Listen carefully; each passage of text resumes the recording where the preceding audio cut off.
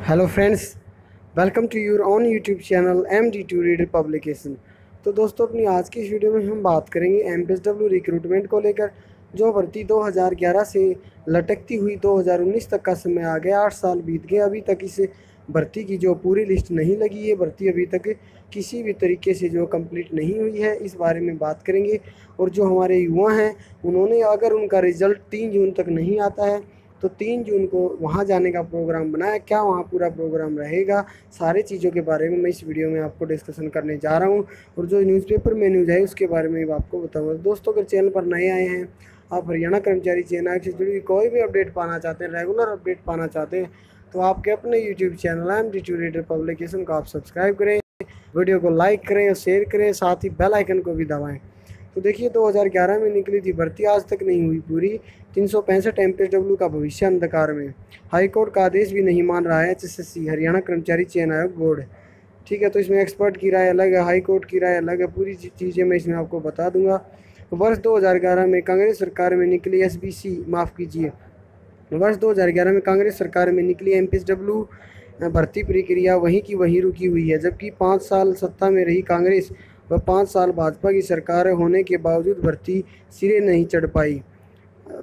आठ साल से भर्ती के आवेदकों को जो है झूठा आश्वासन दिया जा रहा है। अब भर्ती आवेदक तीन जून को एचएसएससी बोर्ड के खिलाफ सड़कों पर जो उतरेंगे और उनके खिलाफ प्रदर्शन करेंगे। सीएम जो हाउस है उसका भी घेराव करेंगे। आठ साल पहले निकली इस भर्ती की पहली लिस्ट में छः सौ तिहत्तर आवेदक एम की पोस्ट पर ज्वाइन कर चुके हैं। फ़िलहाल तीन सौ पैंसठ युवाओं का भविष्य दर में लटका हुआ है। ठीक है हाईकोर्ट के क्या आदेश है इसमें? हरियाणा पंजाब हाईकोर्ट ने भर्ती की पेंडिंग बची हुई तीन सौ पैंसठ पोस्ट की लिस्ट जारी करने के आदेश दिए थे। हाईकोर्ट के आदेश जारी होने के बाद भी एच लिस्ट जारी नहीं कर रहा है। एचएसएससी की लापरवाही के कारण हरियाणा के तीन सौ पैंसठ युवा नौ साल से बेरोजगार घूम रहे हैं। भर्ती प्रक्रिया पूरी करवाने की मांग को लेकर आवेदकों ने अनेक बार प्रदर्शन किया। एचएसएससी के चेयरमैन से लेकर हरियाणा के मुख्यमंत्री तक अपनी डिमांड रख चुके हैं, लेकिन अब तक इनका कोई भी समाधान नहीं हो पाया इनको हर बार झूठे आश्वासन दे दिए जाते हैं और डेट दे दी जाती है। आपका रिज़ल्ट आज शाम तक आ जाएगा, कल तक आ जाएगा, फ्राइडे तक आ जाएगा, सैटरडे तक, संडे तक, और हर बार जो वादे हैं वो झूठे निकलते हैं। ऑल हरियाणा एमपीएसडब्ल्यू पुरुष स्वास्थ्य विभाग के प्रदेश अध्यक्ष धर्मेश ने बताया कि 2011 में भर्ती निकली थी। सभी आवेदकों के मेरिट के आधार पर इंटरव्यू भी हो चुके हैं। कोर्ट से दूसरी लिस्ट जारी करने के आदेश भी आ चुके हैं। इसके बावजूद दूसरी लिस्ट जारी नहीं की जा रही है, जिसको लेकर हम तीन जून को सड़कों पर उतरेंगे। आवेदक सीएम हाउस का घेराव करेंगे।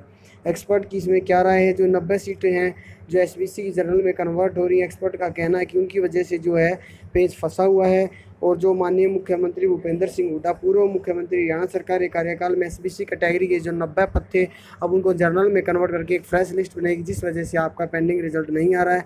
ऐसा एक्सपर्ट्स का मानना है। आप इस बारे में क्या सोचते हैं? कमेंट बॉक्स में कमेंट करें। और मैंने एक वीडियो बनाई थी कि संडे तक आपका रिज़ल्ट आ सकता है। आश्वासन इस बार फिर से संडे तक का मिला क्या रहता है? देखने वाली बात अगर नहीं आता तो आप तीन तारीख को जा ही रहे हो। तो दोस्तों, आज की इस वीडियो में फ़िलहाल इतना ही। अगर आपको किसी प्रकार की भी मेरी तरफ़ से, चैनल की तरफ़ से हेल्प चाहिए, मैं हर वक्त आपकी हेल्प करने के लिए तैयार हूँ। तो दोस्तों, आज की इस वीडियो में फ़िलहाल इतना ही। धन्यवाद।